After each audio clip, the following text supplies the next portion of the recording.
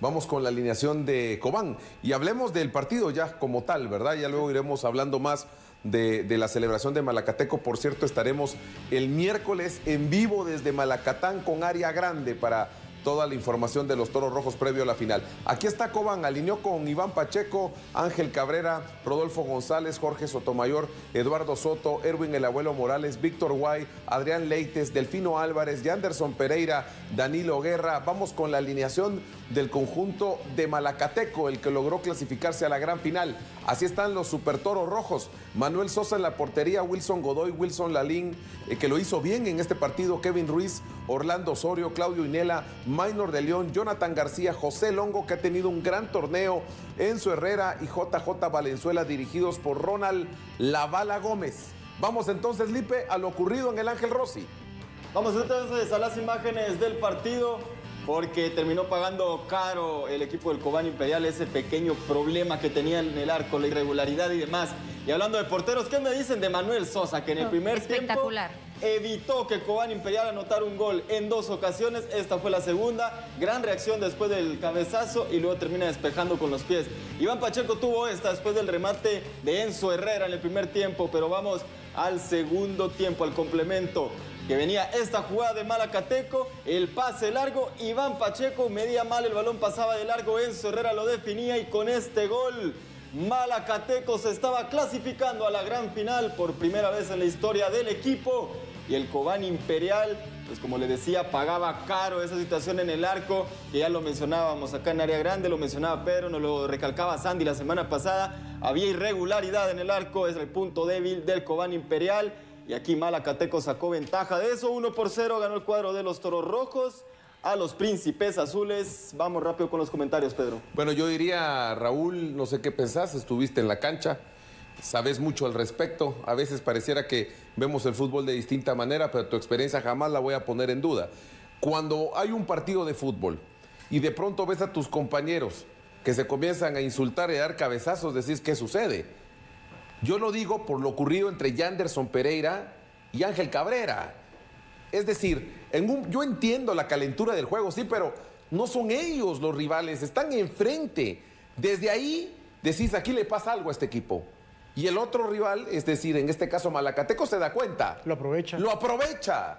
Creo que cuando esas cosas pasan, de algún modo estás mandando un mensaje al rival. No estamos bien.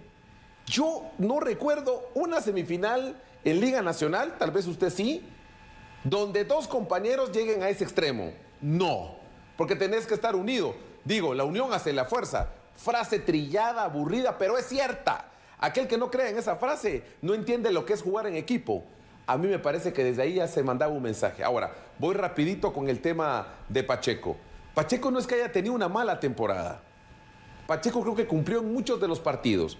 Y no es justo que solo a él se le achaque de que por esto no pasó Cobán. Estoy de acuerdo Cobán no solo pasó, o digo, se quedó corto de pasar no solo por el error de Pacheco, sino porque no hicieron un gol, porque no asumieron la localía. Ahora, la salida de Pacheco, por supuesto que en una final no puede suceder. No digamos en una ronda de eliminación directa, en una como esta, como la semifinal. Creo que sí tuvo su responsabilidad, pero es trabajo de equipo. Así es. También faltó el gol para lavar el error de Pacheco. Yo lo dije al inicio, creo que el talón de Aquiles de Cobán era la portería. ¿Y en qué momento se vino a reflejar? Sí. Bien por Malacateco, pero creo que Cobán otra vez se queda a la deriva. Yo comparto lo que decía Sandy en, en las redes sociales de nosotros. Ella decía, me parte el alma ver a Fabricio Sí. Benítez así. Claro, porque lo había hecho muy bien. Cobán estuvo cerca, Raúl, de quedarse con el doblete. Y de nueva cuenta a la deriva, Cobán. Y bien por Malacateco que llegó, midió, anotó y ganó. Y por otro lado, en esa cancha Malacateco no sabía lo que era ganar. Y mira en qué momento ganaron. Golpe de autoridad en la mesa para decirle al rival que sea en la final, nosotros no vamos de paseo. Sí, para mí eh, estuvo malo eso que mencionabas de lo de Anderson con Cabrera, porque el ser un líder no, no especialmente o específicamente tenés que ir a, a- golpearte de cabeza con el, con el compañero, sino que es mejor acercarte y, y por ahí eh, decirle algo, pegarle un grito, pero no llegar a esos extremos porque eh, comentábamos acá de que, de que el rival se da cuenta y de las debilidades que en ese momento tenés y las aprovecha. Entonces yo creo de que sí mal en ese, en ese momento lo de los jugadores de Cobán, pero yo quisiera mencionar algo de lo de Pacheco también. Así como Pacheco cometió ese error, también eh, eh, durante todo el torneo le salvó la cabeza a muchos. Así es. ¿Ya? Entonces, eh, acá lo que faltó fue definición, fue contundencia. No la tuvieron en este partido. Malacatán tuvo esa de, Enzo Herrera que para ¿Y qué definición, Raúl? ¿Ah? Porque él ya se había pasado, ya no tenía ángulo. Sí, ya no tenía mucho y define muy bien. Claro, y este para mí, para mí es el jugador de la serie. ¿Ya? Eh, anotando un gol allá en, Malacatán y anotando el gol que le da el pase a la gran final. Estoy de acuerdo. ¿Ya? Eh, muchos pensábamos de que solamente porque no iba a estar Edward Santeliz, hoy nos demostraron de que sí se puede jugar sin Edward Santeliz también. No es un jugador muy, eh, es un jugador muy importante para el equipo, pero no es indispensable. A ver, en el tema del Cobán Imperial yo quería agregar algo. Yo estoy de acuerdo con que no se le puede echar toda la culpa a Pacheco, pero una vez un entrenador me dijo, tu equipo es tan bueno como tu peor jugador. Y sabíamos que no había una regularidad en el arco del Cobán Imperial. Ya lo hablaba Sandy la semana pasada y lo decías vos, Pedro, a principio de la temporada. El punto débil de Cobán es el arco, porque ni Tatuaca ni Pacheco habían tenido una buena temporada. Y cuando estás en un partido como estos, estoy de acuerdo que Cobana eh, no consiguió anotar un tanto ni el primero ni el segundo tiempo, pero el partido hasta cierto punto lo tenía controlado y termina siendo un balón largo de Malacateco por un error de Pacheco que termina rompiendo la llave y dándole el pase a Malacateco. Para mí la diferencia en esta llave y sobre todo en el partido de vuelta fueron los porteros, porque el mejor del partido, en mi opinión, en el juego de vuelta, en el José Ángel Rossi, fue Manuel Sosa, el guardameta de Malacateco, porque tuvo dos oportunidades claras que terminó sacando para que Cobán no se fuera adelante. Y esa fue la diferencia en la llave, que Manuel Sosa sí la jugó bien y que bien Pacheco se equivocó. Sí, para mí Sosa, este es su mejor torneo, como también para Chucky Edward Santeliz. Si hablamos de gente de Malacateco en su mejor campaña, esta es la mejor campaña de Sosa. Y yo recuerdo que hablaba con él justo cuando no sabía si quedarse o no en Malacateco. Al final aguantó, soportó banca y ahora tiene su recompensa. Así es el fútbol y así es la vida. El deporte está hecho para los que persisten, para los que insisten no para los que pelean un día y al día siguiente no y buscan responsables. Bien por Sosa, bien por Herrera, bien por Malacateco. Me da una pena por la Chapa Benítez porque sé que es buen técnico, pero así es el fútbol. Ahora, entiendo lo que dice Lipe, ahí tienes que estar puntual en una semifinal, cero errores.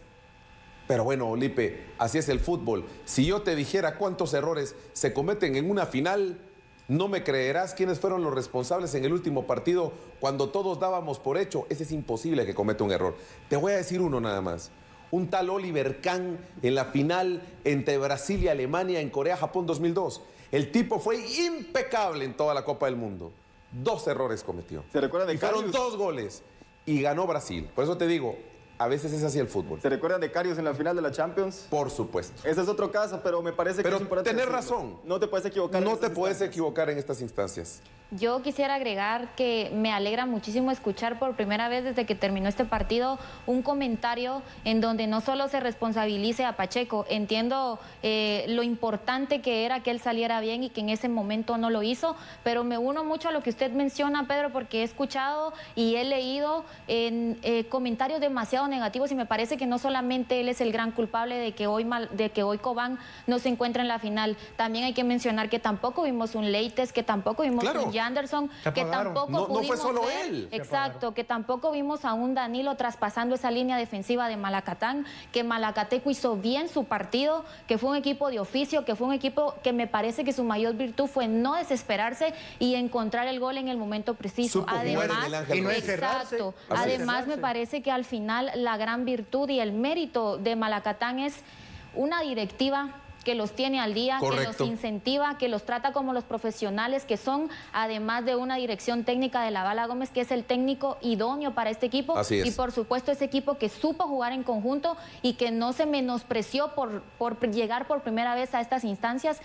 Y por el otro lado, pues lo lamento mucho, como ya lo decía yo en las redes sociales nuestras, por la chapa, porque me parece que es un técnico. Es un buen técnico. Es un buen, técnico, pero pues lamentablemente el fútbol eh, no lleva un guion que se cumpla, que por llegar por favorito yo voy a ser campeón. A veces el fútbol nos sorprende y me parece que en este partido así fue. Yo entiendo lo que dice y lo comparto totalmente. El libreto del fútbol no se escribe antes del juego, se escribe en el juego. Sí. Y a veces hay héroes y a veces hay señalados.